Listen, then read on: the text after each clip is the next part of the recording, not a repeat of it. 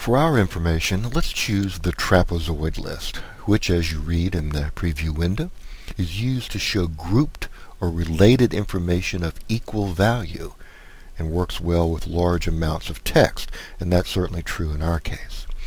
Once the diagram is chosen, it will appear on your slide in a template format.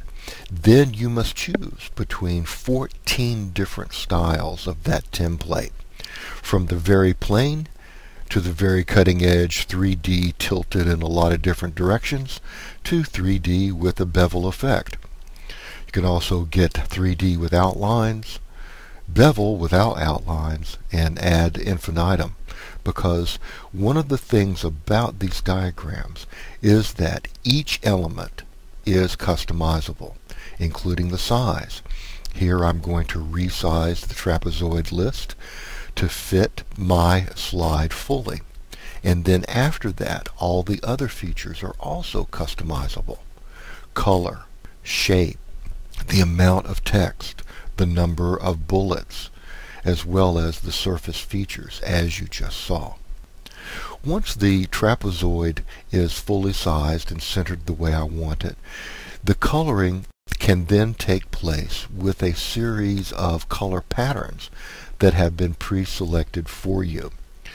These color patterns in our case just happens to include, thank you very much, uh, the kind of green that we're using in our green motif. Not seeing enough distinction there. Let's go back up to the PowerPoint 2007 red mauve green motif and enter in our text. As you see, as I enter in the text, the point size changes automatically or adapts automatically to the trapezoid.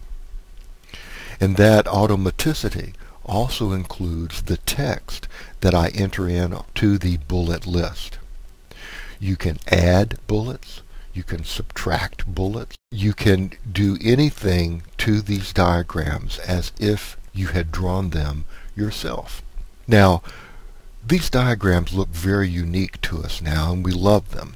But keep in mind that once everybody has a copy of Microsoft 2007, and we've seen all of these 80 diagrams in various presentations, they're going to become old and non-distinct and no longer unique for us, at which time we will want a PowerPoint 2011 or learn to do something more customizable. And indeed, that's the next element that I wish to talk about. Combining your own customizing with smart art. The ability to customize elements for your PowerPoint presentation is important because there will always be Microsoft templates out there and a lot of people using them.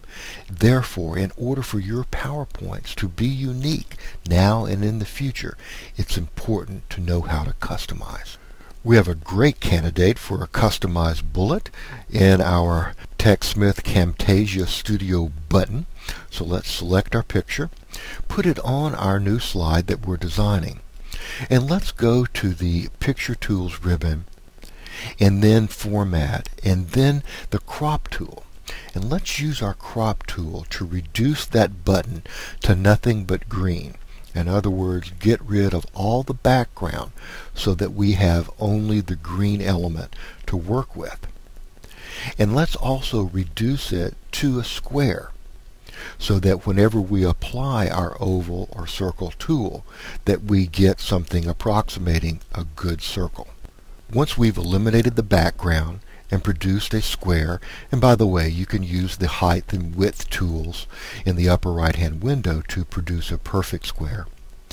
It is then a simple matter of going up to our Format Picture Shapes and applying the oval to produce a button that we can then work with.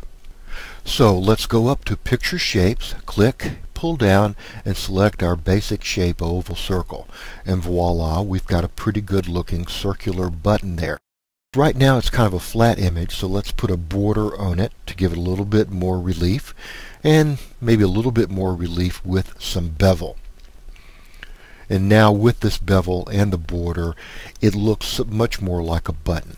Let's go up to our size window in the top right, And since we have lock aspect ratio on, we can simply change one element and bring it down to a more typical bullet size.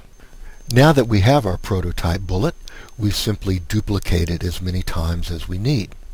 Now let's select them all and put them into a group so that we can align them.